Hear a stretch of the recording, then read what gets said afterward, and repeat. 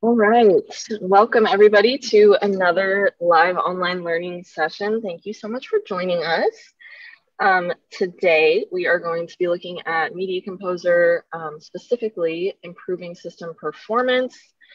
Um, before we jump in, I'm just gonna go over a couple of points with each of you.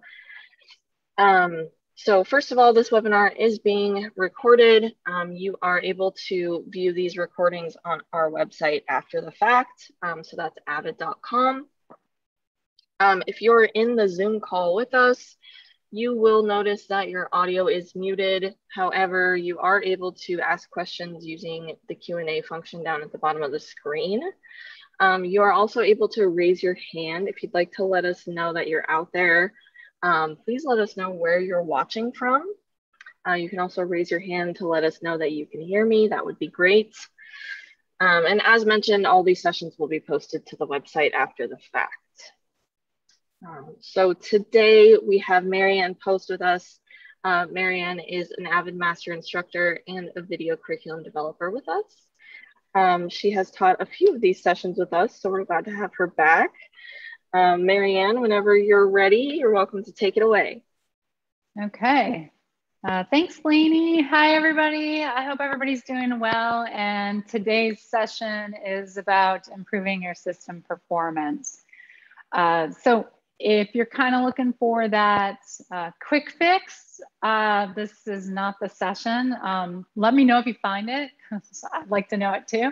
But I can definitely point you guys to lots of resources and some of my troubleshooting processes. As a creative, I am not an Avid certified service rep or ACSR. Um, I do pick their brains from time to time because they know all of it. So for us, from just trying to survive projects, survive uh, working on a client facility, that kind of thing, I can help you out. So I'm gonna go ahead and share my screen as I'm gonna show you guys some resources today. And hopefully you guys can see my screen. My Zoom controls have been showing up. So just a couple things here as I tab across a lot of stuff. And just want to make sure that my audio doesn't stay muted in case Lainey needs to jump in. And then I'm going to hide my controls. Okay, so um, I actually built a slide for today. If you attend my sessions, you don't see a lot of these, but uh, here's what we're gonna be kind of taking a look at today as far as a system check and troubleshooting. So I, when things slow down, I like to blame the software or online resource I'm in. Um, and a lot of times it's not that.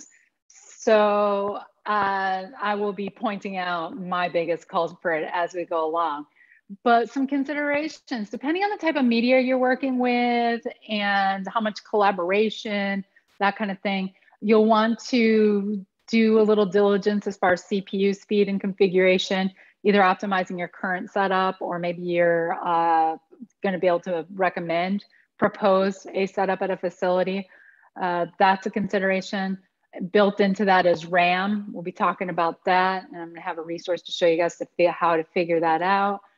Uh, system, how fast your uh, media, you can access your media, um, and then just overall system performance uh, graphics cards. So a lot of that ties back into your system configuration. But the main system configurations I'm always looking at is my computer itself, the RAM, graphic memory, and card. And then media drive. So hard drive performance kind of falls under that. Um, but some of that's user driven. So when I'm talking about hard drive performance, give me more of that. And then just other processes. Okay, so basically our system configuration, our media drives, and then what are we doing to bottleneck the system? Because some there's usually something along the pipeline that's bottlenecking it. Okay, so there's my uh, slide, and I'm just going to hide that a moment, and then I'm going to hide Media Composer as well, and pop over to Safari. So I am on the Mac, but I am going to cover Windows today because I know you guys probably sometimes feel a little left out because I run all my sessions on a Mac but uh, the all the information that I'm sharing uh, goes to both. So in I'm on avid.com. I'm just on their homepage. So this is where you're going to find your resources. I do this and Google. So you're going to see a couple things. So if you, when you're on avid.com, if you just go to the media composer section and support, you'll find a wealth of information because again, there's no one size fits all configuration, which you guys probably already aware of. So in here, in addition to things like downloading options and activation, there's a whole search function. I'll search like Media Composer system requirements here um, if I don't just do a Google search and that kind of thing. But then there's down in resources, you can find all your documentation and configuration guides, especially if you're proposing a system upgrade. This is where you can copy paste from. There's a wealth of guides. Um, and then another thing that is helpful in this section is in the compatibility. Just looking at like the version matrix, I work a lot with this with um, students and when I was consulting, just trying to figure out, okay, where, where are they? Or if I'm as a freelance editor coming into a system, what system do they have? What are the requirements? What are some of the bottlenecks I might run into that I went on my own system? So this just opens up the Avid knowledge base as you can see. And I can look at system setup from like uh, 2021.6, which is the latest build, um, which is where I'm at. But um, if I'm going on a system or if you have 2018.12, what are the requirements? So for example, I'm on Catalina and that would be a bad situation for 2018.12. So you can check that out. Um, I'm on Catalina, so I'm still okay. Um, it's in my to-do list, update to Big Sur. Um, and it just, life happens, work life happens. So it, quite, it hasn't quite happened yet. Although I need to get on that because Monterey is coming soon. So keeping on top of things also helps, uh, which I really try to do overall. As far as then, I can also look at Avid uh, qualified systems. There's a link there. So that's what I like about that compatibility page. Because as you click through to all these, you'll find sometimes you can end up in a circle. And that's just because there are so many different configurations and it's not just Media Composer. We've got like Pro Tools and Sibelius and that kind of thing. And then you've got NEXIS and, and that. So there's a lot of moving parts. So being able to kind of quickly find, uh, these are a couple places that I do absolutely um, go to. And on this page, I've got things like I can look up uh, CPU specifications for 2021.5 and 2021.6 if you're on Windows as well. And then another thing that I really like to look at is feature performance. So that's on this page. So I'm gonna go ahead and click that. So trying to figure out, okay, I'm just getting my first uh, 16K project. Um, I'm not, but if I were, here's what I would need for that, which would probably mean I'm probably working at a facility. Um, I'm not setting this up on my own system, but you can see with like different features, like if I'm working on UHD, uh, you know, pretty high frame rate, 60p, essentially with four streams of video, I'm gonna need 64 gigabytes of RAM um, on my system for that really to work and they recommend 96 so is my laptop going to handle that? What what build do i need? So you can figure that out and then just other connections. So this is a really great page. Now i do use uhd i just used uhd video last week in a tracking session and you guys didn't see performance issues. You might have seen some operator error on my part or some interactivity between zoom and media composer but you probably didn't see a lot of, um, there wasn't playback issues and that kind of thing.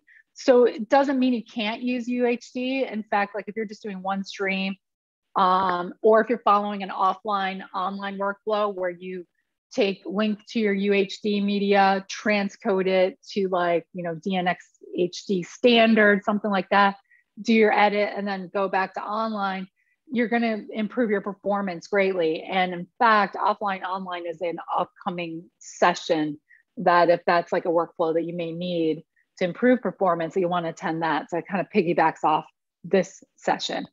But it just gives you that information. Um, I'm not a numbers gal, so I don't have this memorized. So when clients or students ask me, I'm happy to direct them or give them information. This is where I'm coming to get that information because I I'm a creative. I don't have this memorized. So uh, you can get that.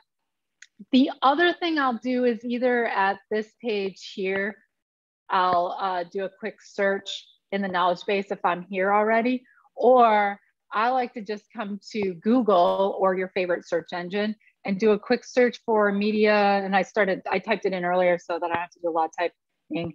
But media composer system requirements. And what I love about this search is it'll oftentimes just take you right top search because it's, I think people search for this quite frequently, um, is media composer system requirements on avid.force.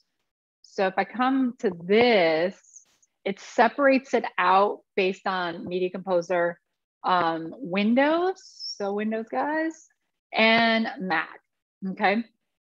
And some of this, like that feature performance, this is a second link that takes me actually right back to uh, this uh, page. Um, so you'll see like cross-referencing quite a bit. Um, they're not assuming that you're going to all these pages at once like I am. But yeah, just doing that Google search, you can get to Windows, then you could see like the Windows OS compatibility grid. And in my case, because I am going to be demoing on the Mac today, the Mac OS compatibility grid. Um, and when I'm in here, it's got like, this takes me back actually to the, uh, the configuration matrix that we're looking at. What I want to do is add Apple qualified computers. So as you can see, lots of cross-referencing, but I meant to click on Avid qualified uh, computers. And then at the bottom here, this PDF, okay? So if you are working on the latest system, this will help you. Otherwise, you'll wanna go to one of those earlier resources that I uh, showed. Now I'm on a laptop, so they have a nice quick skip, but as you can see, there's several other options from iMacs to Mac minis and that kind of thing and it shows you like memory that you'll need and there's notes too for various compatibility. So if I go to my laptop, um, I'm on the MacBook Pro November 9, 2019 edition, and this is pretty close to out of the box. The only difference from my system and uh, the base system that you can grab from Apple is I have 32 gigs of RAM, which is the recommended and notice it can expand from 16 to 64. So when I was looking at that 16K footage and it's recommended 96. So if I'm working on that on this system and it's bottlenecking and processing slow, that might be why. Uh, so yeah, it's just, you know, media is just getting, takes more and more bandwidth depending on what you're working on. So your system may or may not support it.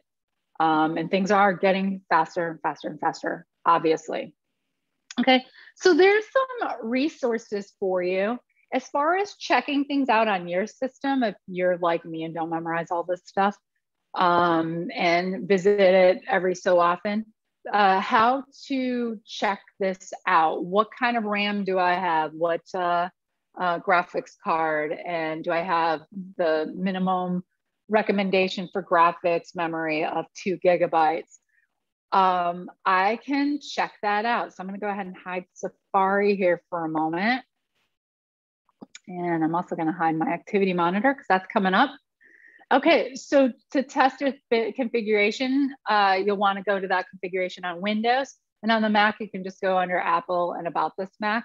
I actually took a screenshot because we are online and I know nobody would try to do anything, but uh, I took a screenshot of it so I could blur out my serial number. So if you go to about this computer or about this Mac, it'll bring this up. So we can see that for like HD video or basic uh, 4K, that 32 um, gigs of memory is great. That's my one expansion. I've got plenty of graphics memory.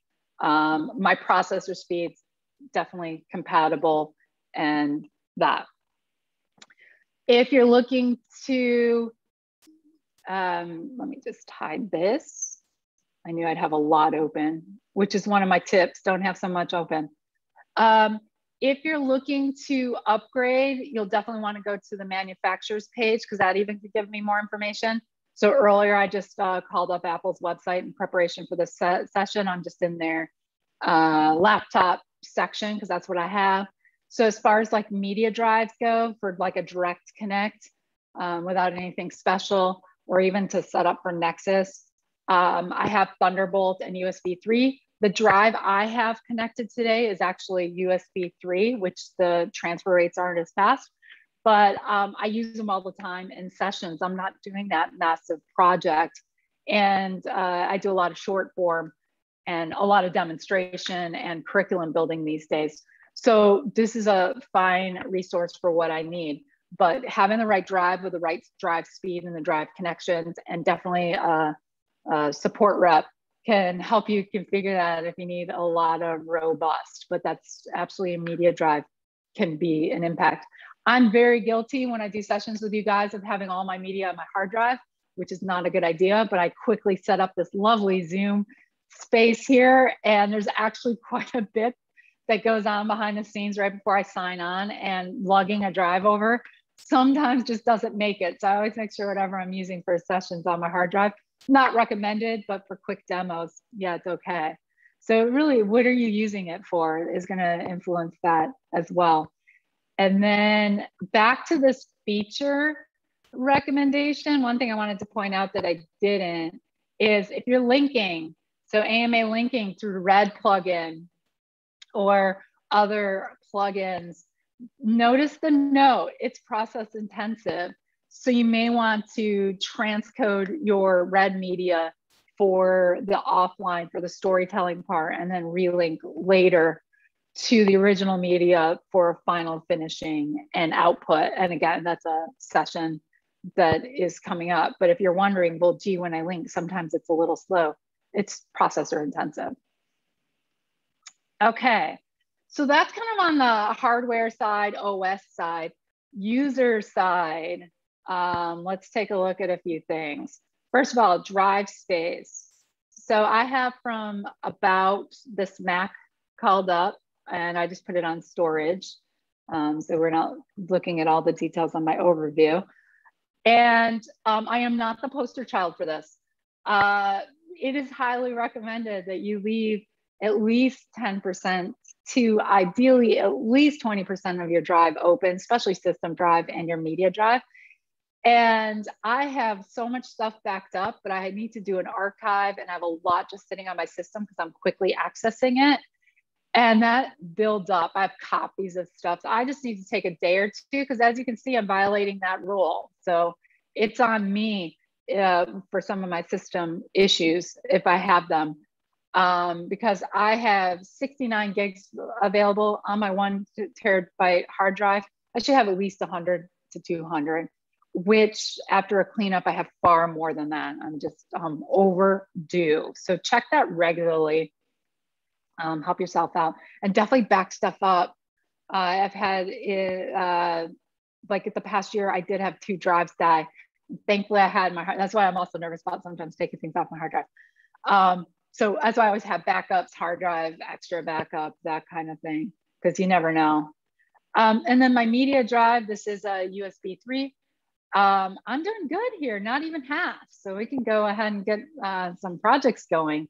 And that even needs to be cleaned up in my two terabyte drive. So yeah, check your storage too. When that gets full, that can impact processing. Eh, the other thing, which you probably saw floating around at the beginning here is activity processes, um, and I might have uh, deleted it, but let me call it up. To, you know, you open your task manager on Windows to check your processes, what you're doing. And on the Mac, you'll open the activity monitor, which you can just find in your applications. And then it's a utility. So I'll just hit U for utility and open this up. When I open this up, I'm doing good. in preparation for this session, I wish I'd taken a screenshot of it. I tried to recapture it, but yesterday I was in development, which means I had Media Composer open, I had Camtasia open, Photoshop, I was communicating with my team on T Microsoft Teams. I had Safari open with my development software, which means I had 30 tabs open there. And when I open this, there's this one very critical piece of information you want to look at. And that's in Mac, it's called swap used. meaning it's using hard drive because it's run out of RAM memory. Mine's at zero right now. When I opened this yesterday, I was at over 300 megabytes. Um, and if I command tabs, my uh, saw my application options was straight across. I'm like, well, no wonder. So yeah, I might blame Media Composer or I might blame um, my authoring software or I might blame other, you know, software. I won't say them because I don't want you guys to think that I'm bashing anybody. I'm not, it's me. Um, but I do have a screen. I tried to recreate it last night without success, but I did manage to open a ton of stuff and get it. So I was using about 111 megabytes. So that's definitely started heading towards uh, slowing down the processes. The fix, close it out. uh, don't have as much open as I tend to. I'll end a Zoom session and it'll be like three hours later, and I'm like, oh, Zoom's still open. Because that's just, I just go. I'm very efficient in my workflow. I'm horrible with my assets. So yeah, don't don't do what I do. Uh, it'll slow down your system. Um, so between that drive storage and that kind of thing is a big deal. Uh, wrapping up. So what else can you do when you're in Media Composer is another one. Um, so today my view is a little bit different. You're probably used to a little bit bigger view because uh, I usually change my display which is a system preference. And I didn't today specifically for this session. Um, that's another thing that can cause issues, and you guys have seen it, is when I don't use the default display, which is optimized for working with Media Composer. When I go for a bigger display, um, which I actually didn't need to click on, that creates a challenge. Not so much if I'm just working on my own, but if I'm working with like another intensive screen resource, uh, like sharing on Zoom, that could be an issue. Okay, in Media Composer, I have like loaded a session I did last week on tracking. And right now, if I play this, um, notice you could see, I just, I muted the audio, but notice that my position indicator is barely moving across the stack. Now, we did not have this issue last week. I was playing this showing that I was tracking uh, Mima here without a problem. And as soon as I stop, hope I don't know how well you guys can see this, but there's a red line here, performance line. There's one when you're having a taking a performance hit uh, in the timeline, your uh, one of three things is happening. If you see a yellow line, Media Composer is playing back at real time, but it's not convinced that it can uh, continue that If you see a red line, it means, okay, my stack, my quality, my format, somewhere in there is not optimized for my system setup, okay? Um, so I need to make some changes while I'm working. Uh, so this is actually HD footage. So it's just got this stack of elements going on. I have the same thing here, this is a high res image that I used for a tracking example last week. And I'm linking to this footage. So solutions, one, uh, which is topic coming up, is I could transcode that footage. And then um, when I'm ready to online, I go back to the full res. Uh, so that'll optimize the system while I'm storytelling. Two, check your format. So this is UHD in the background, um, but do I need to be working on a UHD project? First of all, let's check where that is. I'm gonna go to settings. I just hit shift command equal.